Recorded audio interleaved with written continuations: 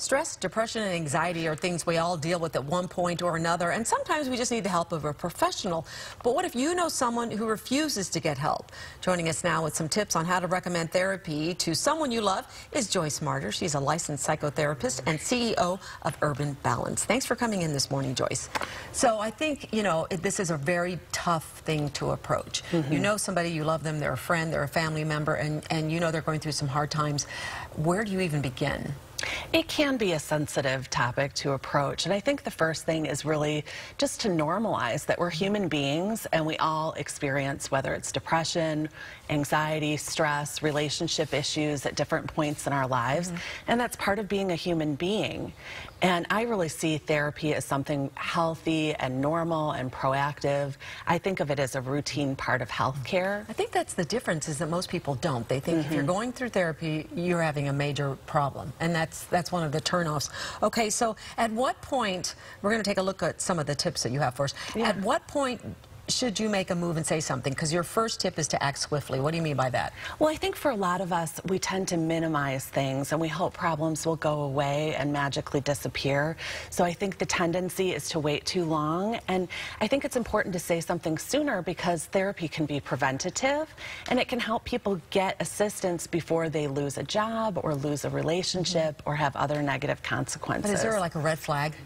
Well, if you're worrying about it and you're thinking about it, mm -hmm. I mm-hmm. think it's better to say something. Okay, okay. So then, um, and something that we that we had said earlier on is, is normalize this. Don't make it a shameful thing. And how do you go about doing that? Right. So instead of saying, "I think you have problems," or "I think you're or not you're crazy. well," you're crazy. Yeah. Mm -hmm. What's going on?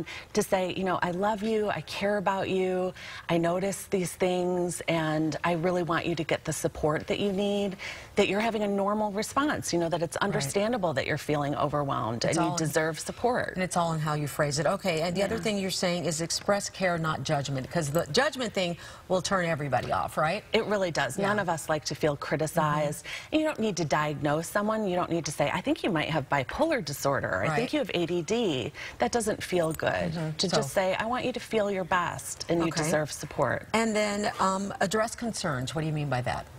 Well, I think just to be specific and, exp and explain, sometimes people don't know what therapy is like. Mm -hmm. And so I always explain it's like a personal trainer for your mind or for your relationships, that really it's a person who can help coach you through thinking thing through things more dif differently in a more positive way. Yeah, and here's the most important thing is provide resources because a lot of times, you know, sure, it's easy for you to suggest it, but where do you begin?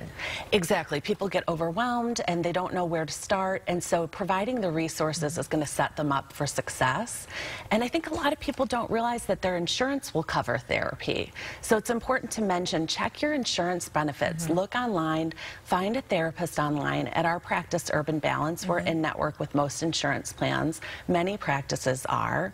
You can find a good therapist through Psychology Today if you're at a place where there isn't a practice like Urban Balance. Mm -hmm. Many practices offer a free first initial consultation. That's a great smart. way to see if it's yeah. a good fit. Because that's so important. Make sure it's a good fit. Because if it's not, they're not going to go back. Right. And mm -hmm. if you mm-hmm. need sliding fee services or you have Medicaid, many communities have community mental health centers and other training facilities that offer free or sliding fee services. Okay, and I want to ask you too, because that's the other excuse maybe somebody might say is, we can't afford therapy, it's too expensive. And that's where you kind of come in.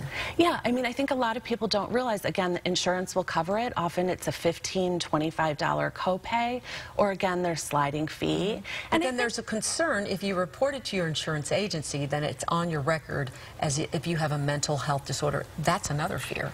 It is a fear, and I really believe we all need it at different points in our lives, and that doesn't prevent people from seeing a cardiologist mm -hmm. or any other kind of medical profession. Mm -hmm. And mental health issues are covered under the American with Disabilities Act. Okay. So I really encourage people to look beyond that. Good point. Okay, finally, I want to ask you this, and I don't know if I asked you this at the beginning. So, if you think you know somebody who needs therapy, therapy, how do you tell them?